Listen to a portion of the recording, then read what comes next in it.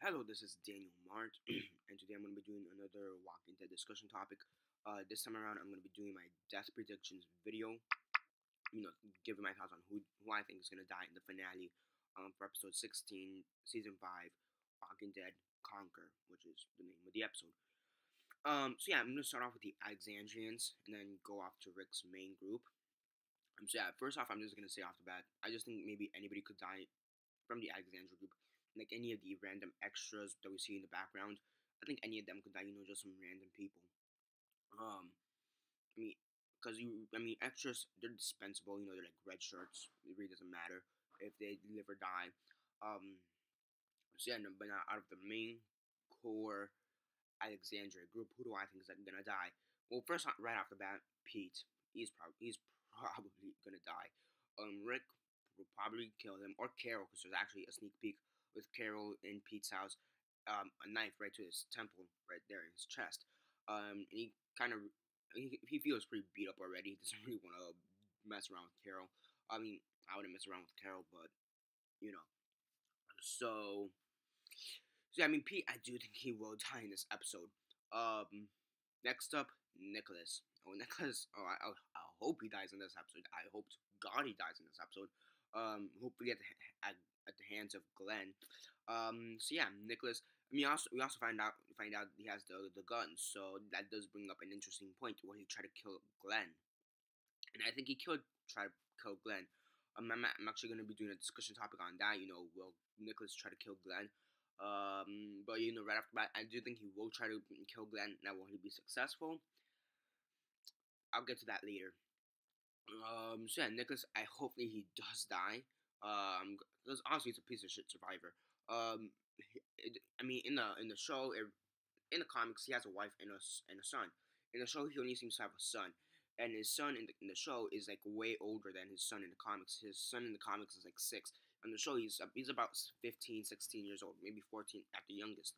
So he really hasn't. The son hasn't really experienced that much death, and I think it's about time for him to actually um, experience something. So maybe fair enough. Um, so yeah, so yeah, I do think Nicholas will die. Um, you know, and for the son, you know, that's just how it is. Um, now Reg, I do think Reg could die as well. I do think um Reg could die as well. Um, and by that, and for that matter, Deanna, I do think she could die as well. Um, you know, Pete, he'll probably he in the comics he really doesn't take it take the fact that he lost all too well. So he kind of just rampages and is about to, and he, he basically kills uh, Regina, which in the, in the TV show will be Reg. Um, basically ends up killing um, Reg and Fury, and you know that's when Rick is given the go ahead to kill to kill Peter uh, or Pete. But you know, I think Reg is more likely to die than Deanna.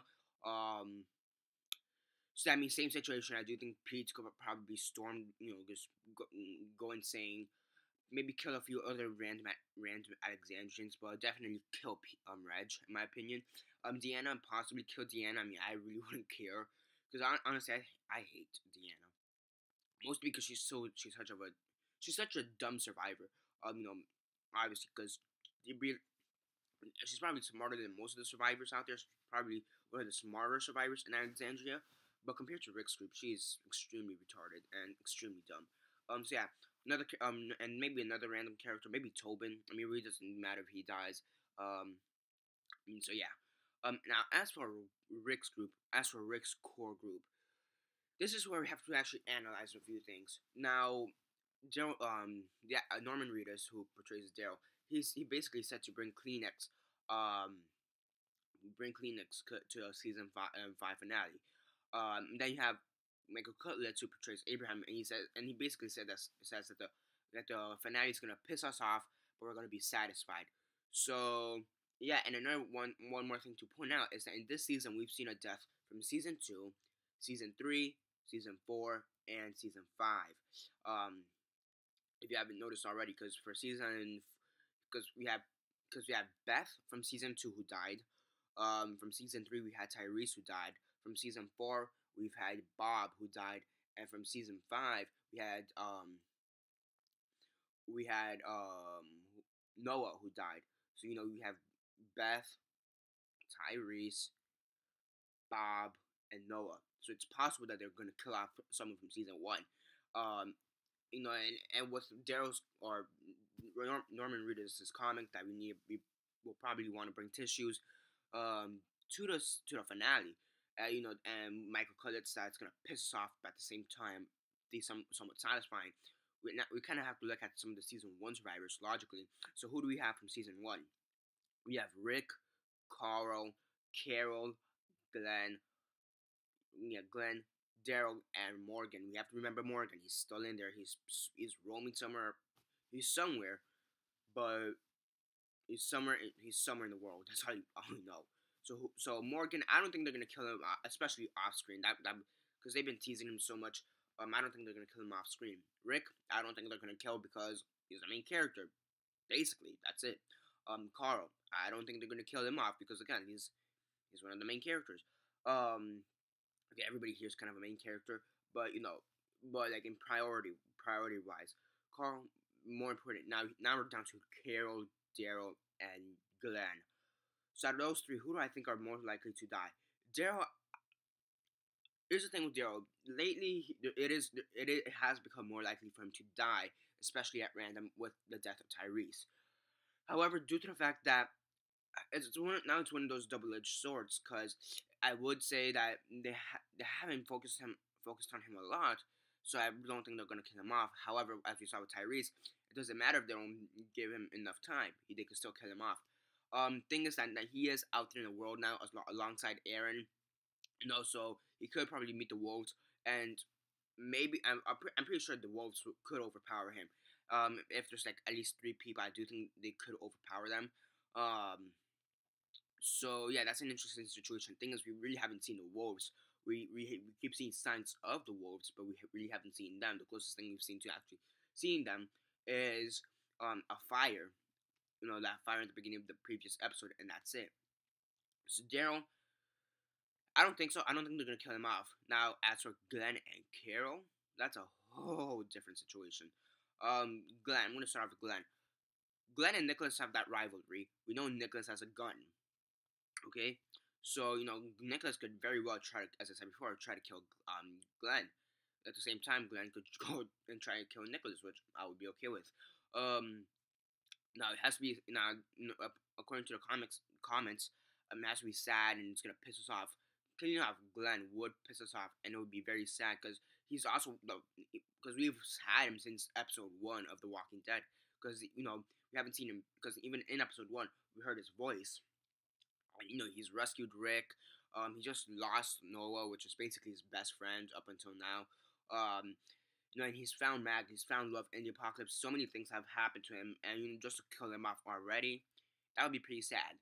Um, and have focused a bit more on him. However, you also have Carol, which they, they, from the start we've seen a lot of development out of her, having that Rambo entrance with Terminus, blowing up Terminus with uh, Rambo style.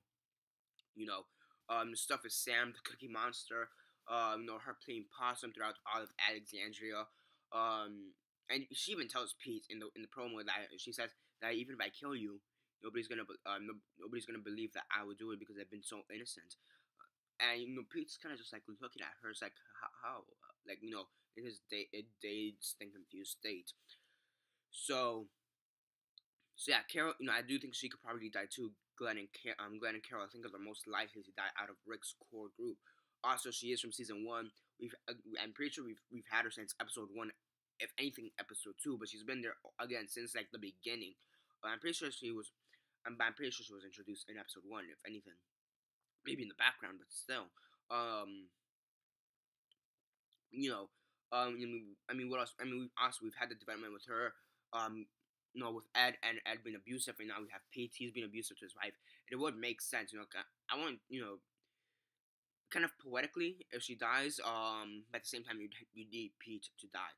Um, and so yeah, I mean, I, and also throughout season five, uh, you know, she's she's dealt with all the stuff again, Rambo style, and then Sam the Cookie Monster, then her playing possum. Um, you know, the stuff at the hospital with um her seeing Beth being just brains blown out um her situation with Daryl in Atlanta. She's had so much development. So yeah, so I think Carol's more likely than Glenn, but I could also see Glenn dying. Now, as for the other people in Rick's group, Judith, I think she could die. Honestly, honestly, if the episode plays out just as I think it will, it should play out. I say should. I think that Judith could die if it plays out just how I think it's gonna play out. Basically, the way I think it's gonna play out is that within because the episode is now a 90 minute episode. They've confirmed this. Um, it seems from the promo that we're gonna see um people dealing with Rick. You know, people not really trusting Rick. But I think if at the at the end, like the last act per se, at the last act of the the of the episode, we see zombies storm in into Alexandria, or we see the wolves actually going in. I think zombies will be more likely than I do think Judith could die. Tara, could she die? I think there's a uh, there's a possibility that she could die because she hasn't really woken up. Um, the only thing that we know that she is some caught. Uh, the only thing that we know is that Tara, um, in the in the previous episode, in the previous episode, Rosita said that Tara is stable. So you know that just means that she isn't losing that much blood anymore, if any. But that that doesn't mean she's cautious. You know, she's probably so unconscious. So yeah, so could Tara die? That's a 50-50 situation, possibly. Now, another one I want to throw in throw in, throw in the mix is Gabriel, and it's not because you know I I really don't like his character or whatever. It's because there's this one scene in the promos I find really interesting. I find it really interesting as to why they put it there. Um, there's a scene where Gabriel he's he's not in his he's not in his normal uniform, you know, with the he's not in his normal uniform with the black button down black pants, I mean, black dress pants, and maybe even the coat and the little white collar thing, collar neck right there it's a very interesting scene in my opinion. It's like two seconds, but it's very interesting. You see Gabriel, and, he, and he's in jeans. He's in jeans, a white, a, a white long sleeve shirt, and what it seems to be a knife or a gun. He has he has the weapon in, in one of in his one of his hands. Um, I, I forgot which one. I, for, I mean, I forgot what type of weapon. I don't know if it's a gun or a knife. Look, um, but he is. It does look like he's either going outside of Alexandria or I think it's more likely that he's going outside of Alexandria because he doesn't really seem bloody um, he seems kind of clean cut. So that does so you know could he die if he's leaving Alexandria? That'd be that'd be interesting, in my opinion. Because um, and you know I know, I did and I did focus on that scene on that small section that frame, and it did look a lot like Father Gabriel. Um, so yeah, so that that's a very interesting scene in my opinion. You know, why is Gabriel leaving? You know, I mean, I don't think he'd be exiled. If anything, he basically proved what he said. What he told that Deanna like two episodes ago and he's a preacher, so you know, again, not not real any real reason for him to be exiled. And if he were to, and if he were to be exiled, why is he? Why isn't he wearing his typical preacher clothes? So you know, it's kind of an interesting scene. You know, is he learning how to fight? You know, that's all I have to say. So I do think it is there's a possibility of Gabriel dying just because of that one scene, which I find really interesting. So again, just to go over the list of who do I think is gonna die: Pete, Nicholas, Reg, Deanna, Tobin, Carol, Glenn, Judith, Gabriel, Tara, and if anything, maybe some random other some other random people thrown in there.